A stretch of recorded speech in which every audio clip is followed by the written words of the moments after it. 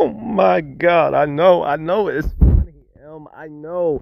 I didn't know if you were going to laugh or cry or be mad, but I see you are laughing. Guys, the Black Shady has came out. I won't be before you long. I just want to, um, you know, recently, uh, uh, well, don't know where to start. Okay, well, um, our, uh, Bizarre. He decided to respond. He listened to the track. He was a man of few words. Is all I can say in this response. You guys seen it, guys? This was the greatest tribute to Eminem track I've ever heard. It was a love letter. Mm-hmm. It was a love fest. I thought Joe Budden Budden did a good love letter, but Anyway, let me just tell you just how bad this track was as a diss. He made this guy. he is making this guy look like Pac. MGK is feeling like Pac because of Rap Devil right now because of that.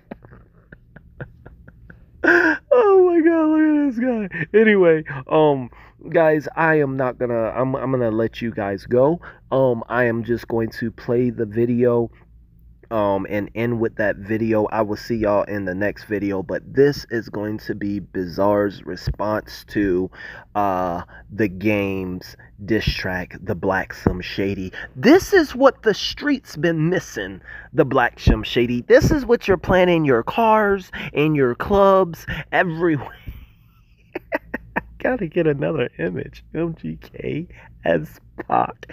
And you know, it's funny because he's the type of guy that uh, that would want to try to um, play him as well.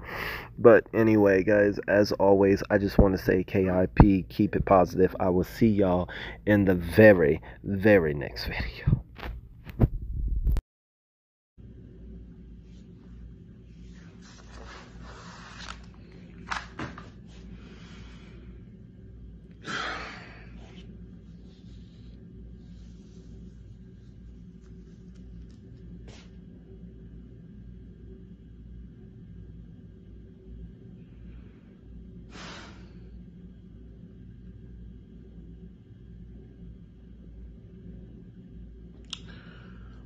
But boy,